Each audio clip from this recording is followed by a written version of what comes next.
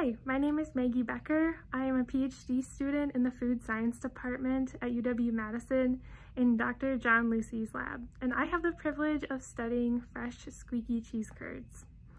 So if you're from Wisconsin or if, if you've spent any amount of time here, you've probably eaten or have at least heard of fresh squeaky cheese curds. So the squeakiness is found only in the freshest curds, and it occurs when the curd is rubbing against your teeth while chewing. However, the squeakiness is eventually lost within a week or so after manufacture and the texture also can become quite soft and mushy. We believe that this is due to weakening of the protein structure of the curd due to acidification and breakdown of proteins or proteolysis.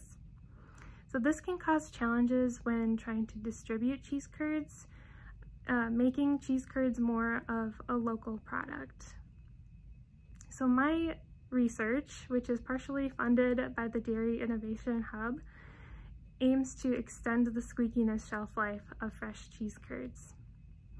So since we believe that maintaining the integrity of the protein structure is important for also maintaining the squeakiness of fresh cheese curds, our manufacturing treatments are aimed at reducing acidification and proteolysis during storage. So this will hopefully give us insights about what causes squeakiness in the first place and what causes it to disappear. So fellow curd nerds, stay tuned.